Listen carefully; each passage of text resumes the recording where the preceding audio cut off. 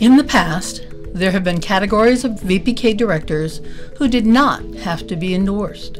These included those who received their director's credentials before 2006 and others, such as principals, who worked in private and public schools. Now, the only exception to the VPK director endorsement is private and public administrators with a valid teaching certificate and with a valid, meaning not expired, educational leadership on the certificate.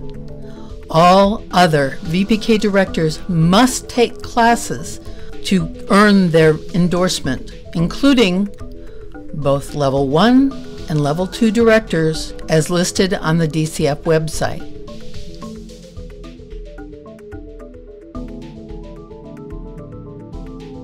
The classes with an asterisk next to them can be from any date.